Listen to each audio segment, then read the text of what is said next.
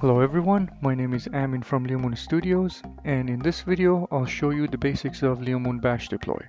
LeoMoon Bash Deploy is an easy to use Linux server configuration, management and app deployment tool and unlike Chef and Puppet it does not require any configuration.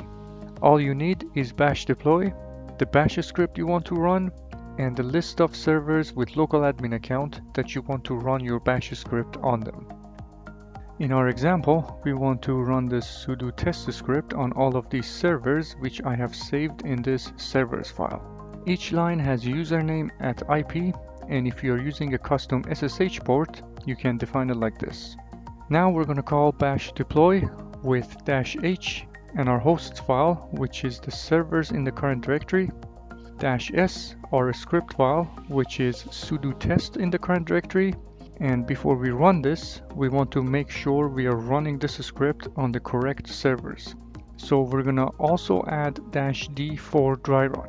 And we can see that this script will run on these servers. Now the last server will fail just to show you what a failed connection looks like.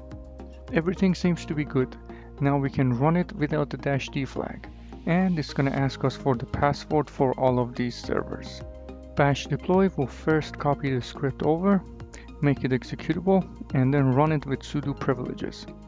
Now just to explain what's going on, here is server 1 of 4. The bash script was copied over, and then the script was executed from this location on the remote server. And this is the output of that remote server which ran with sudo privileges.